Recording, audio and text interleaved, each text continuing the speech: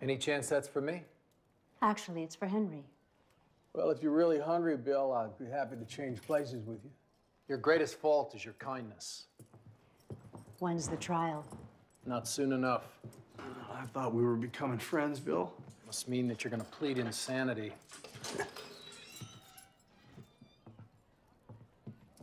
I'm glad you decided to testify against the railroad, Henry. It was the right thing to do.